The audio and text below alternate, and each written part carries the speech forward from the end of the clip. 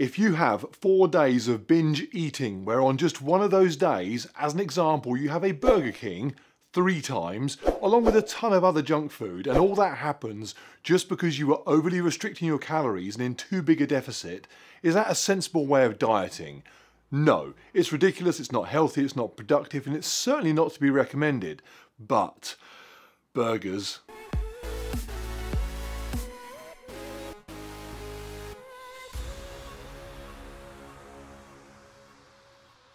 Welcome to another video update covering my ongoing fat loss journey. If you're new here, I began almost seven weeks ago a calorie restricted diet designed to last for eight weeks, which will bring me up to my wedding in just over a week's time. Now, since I started this, I've also signed up for a 100 kilometer ultra marathon in three weeks time. So I might continue the dieting slightly past my wedding before bringing the calories back up to allow me to run for at least 12 hours without passing out. Now, in my last video, I described how week five ended with a four day, 40,000 calorie blowout. I woke up Friday. The room looked like it was just missing Mike Tyson's tiger. Empty packets of food everywhere. And it went downhill from there. Remarkably, by the end of week six, when I made that video, I'd sort of recovered from that and now approaching the end of week seven, very much back on it. And what I intended to discuss today, as well as doing the daily update photos that I've been keeping, was how I have structured my day, my exercise, my eating to remain focused on the goal. And I will do that. But I also want to address all of the comments that that video got about those four days because there's a lot of very useful, insightful information on why people binge eat, why diets fail, why eating too little causes a yo-yo effect, and it's an issue that has in the past caused me to weigh over 350 pounds. But now I have, I think, got control of it, sort of. Let's do the current situation first. Right now, I feel amazing, better than I have done in ages. In fact, I may feel better than ever. During the day, my hunger rolls gently from mildly hungry, which I no longer confuse with I must eat now, to satisfied and then back again. And I finally nailed adding my food in the right portion size and the right time of day so that I eat at the bottom of those dips but doing so doesn't then take me beyond satisfied into stuffed. And that balance is probably 80% the right amount of food, 20% the right time of day. I spent from the age of 10 till now, so 37 years, telling myself I'm big, so I need to eat huge portions of food. No, I don't. Portion control has been game changing. In fact, Jenna pointed out just the other day that since we both agreed that our evening meal should be a set bowl of food each, with leftovers left in the kitchen to put away for the next day, and not what we used to do, which was just put a giant dish of food out so we could just dip into second or third servings, our food bill was dropped as quick as our body fat. So win-win. And I've said this before, when I feed the dogs, I give them a bowl of food. If I gave them all their food and left them to intuitively eat what they like, I'd have fat dogs. It's funny, you have millions of people all over the world giving their pets two, three fixed size meals a day and then eating what they like for themselves. They're fat, their pet isn't. Do the maths. Right, uh, what else?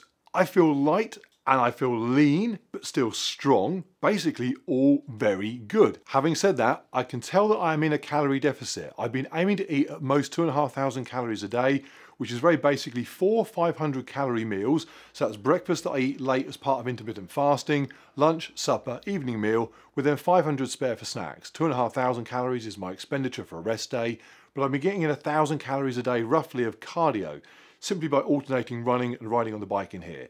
And that's worked. Garmin, for how accurate that is, shows around 3,500 calories a day burnt. I know I'm not eating 2,500 calories, so a nice shortfall. And as I say, I can feel the shortfall. When I run, for example, I get tired sooner than normal, and when I'm on the bike, I can't sprint at the end of a race like I usually can. But because I know why that's the case, the energy shortfall, I'm okay with it. It's a bit like when I go for a run and I sometimes wear a weighted vest. And obviously when I do, my time, my pace is all reduced. But I know why, and I know that it is long-term productive to be doing that. That's how I feel right now. I'm not getting off the bike in here disappointed with my performance. I'm feeling happy with it given its purpose right now, which is to hit that expenditure target. It is not to win the race. There is a competitive part of me that is mildly annoyed when someone sees me running slowly or beats me on Zwift in here and I have no way of telling them, hey, just ignore this. I'm really hungry right now, come back in a couple of weeks. But that is a small price to pay. Actually, I raced on Zwift Tuesday night, two short races back to back, and I got two second places. So it's not like I am getting completely crushed out there. And in the gym, I'm a few kilos off lifting what I used to do on really heavy days, and my workouts really now go beyond 50 minutes, but I'm not staggering around the place like a zombie. I can still push it hard when I'm there. So the plan is to keep this going until next weekend, get our 2021 delayed wedding done and dusted, which is actually more party than wedding because officially we got married quietly and privately at the end of last year. We sort of ran off and did it because no one tells me what year I can and can't get married in. Contract taste, contact tasting, testing, tracing, forgive me, contract, contract, contract. And then I'll hold those calories another week or so then ramp them back up in preparation for the ultra. Regarding the ultra training, very, very little really. I'm doing a few long runs a week and each weekend something really big to get used to hours of effort. For example, this Saturday, the plan is a marathon run, straight back in here, jump on the bike, climb Alpe du Zwift.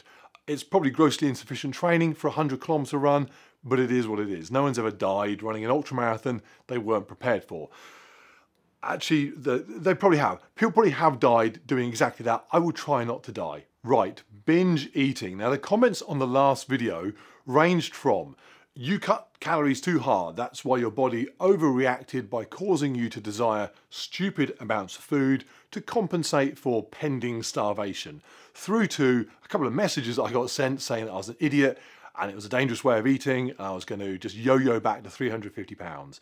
Basically I was a moron, I didn't know what I was doing. To be fair, every comment had an element of truth to it. I did cut back too hard, combined with too much energy expenditure. I was running and riding every single day. And that did kick my cravings to a point where they just take over. And that four days is a negative period for fat loss, obviously, and does set things back. But and here's the but. It is not yo-yo dieting or boomerang dieting as someone called it. The binge, my binge, does not negate everything before it. I am today, after the binge, ahead of where I was weeks ago. I'm not back at the start. That's not a yo-yo. You buy a yo-yo that doesn't return to the start, get your money back. Someone sells you a boomerang that doesn't go full circle, you've been sold a stick. Now that is not to say that yo-yo dieting is not a thing. It's a real thing for millions of people. In fact, probably most people try to drop weight experience it to some extent. It was the case for me in the past. Up to around 10 years ago, I'd often go from 350 pounds to 300 pounds back to 350 pounds. And binge eating would have been the instigator every time for that bounce back to where I'd started. Even recently, although I've never gone quite that far back, I have yo-yoed between being in shape and being out of shape. So it's a real thing and there's lots of great advice about learning to eat with consistency, about developing a better relationship with food that people can use to tackle that. One of the comments was from someone saying they had learnt to regard junk food as not real food. They just took it off their mental menu as an option. All that is good stuff. But I'm nearly 50 and I will never take a burger or three burgers off my menu. It just isn't going to happen. I will never be able to avoid those backward steps. For the rest of my life, I will encounter multiple day binges. And it's easy for people with no history, so no personal understanding of that mentality to dismiss that as lacking willpower or weakness. I don't care. Now and then, somebody with a serious addiction issue will chat with me and I will realize that my cravings are on a par with theirs in many ways. So I realize I'm not mainstream. I don't expect or need the majority to know what it feels like to be unable, unable to resist something. Doesn't matter. Here's my realization. I am not someone that rolls along with calm consistency. As a kid, I did go-karting properly. I had an instructor. I live my life a quarter mile at a time. And he would tell me, be on the gas or be on the brake. There's no rolling. Maybe that just stuck with me too well. I'm not the tortoise, I'm the hare. Sprint like mad, have a sleep, while the tortoise just plods along sensibly. Now in the story, the tortoise wins by passing the sleeping hare, but it's just a story. We all know in real life, the hare sets an alarm, he'd wake up and he would crush the tortoise. I don't want to be a tortoise. Bottom line, I get bored very easily and I want to be accelerating and enjoying the buzz from that, even if it's a bit excessive, or slamming on the brakes and enjoying the implications of barreling into a corner slightly out of control. Actually, do you know it was funny? I was with a client a couple of days ago for my real job, and we were looking at stock market returns for the last couple of years and the effect that COVID had had on them. He'd invested just before the pandemic, and so he had lost a couple of hundred thousand pounds pretty much overnight. At the time, we'd agreed that one of two things were probably going to happen.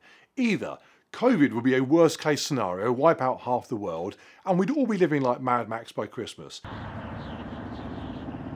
In which case I'd said to him, is your portfolio really the biggest of your worries? Or, as it has done many times in the past, things would sort themselves out and the markets would move onwards and upwards. He agreed that was far more likely, and also he drives a Tesla, so I did explain to him that he was screwed in an apocalypse because really petrol is the only fuel you can scavenge and today he has more money than before the pandemic. Bailing out last April, having taken the hit, and just sulking in cash would have been disastrous. And it showed me, having been telling people that basic stick with the plan message for the last 25 years, about the tech bubble bursting, about banking crisis, Brexit, COVID, the list goes on, that I need to listen to my own advice. Historically, my weight loss or fitness or health journey, whatever, has always hit a downturn. And instead of telling myself that that is just an annoying, but in the bigger picture, irrelevant step in an otherwise upwards trend, I always cash in. I come off the binge and just give up. That last picture, that was from an October a few years ago. I came back from that holiday treated myself to a giant Toblerone at the airport as a reward for getting in beach ready shape, and that Toblerone then began a three day avalanche of food. But by day four it was over. But I'd given up investing in myself, so October became November, became December, suddenly it is Christmas, and I'm two months into eating like I just don't care anymore. By January I was out of shape, it took me until summer to be back to where I'd been on the beach. So having finally seen that with some clarity, I nailed it two weeks ago. I came off that bad four days, stayed invested, back to normal within a week. Today, ahead of where I was, onwards and upwards. So all the comments about why it happened, about how to stop it happening again, I get all of those completely. I understand the theory of excessive calorie deprivation, just like I understand telling people how to avoid the obvious pitfalls when investing their money. But also, I understand that sometimes shit just happens. And it's staying on course after that which makes the real difference. So that's what I'm going to focus on and continue to focus on. Moving, Moving forward, forward after getting hit hard. That's how winning is done. Which is starting to turn into the Rocky quote, but that's an appropriate thing because while Rocky trains hard to win every round, because you'd be daft not to, he wins his fights from his ability to return strong from the rounds he loses. Now, would simply not losing a round and never needing to come back from the brink be simpler? Yes, but that's also a boring, lousy movie. For me at least. If watching a film about mundane consistency floats your boat, that is cool too. Two last things on a serious point. I understand that my binge eating is on the ladder of disordered eating. It is not optimal to eat the way I do when it goes bad. I'm not saying 10,000 calorie binges are a good idea.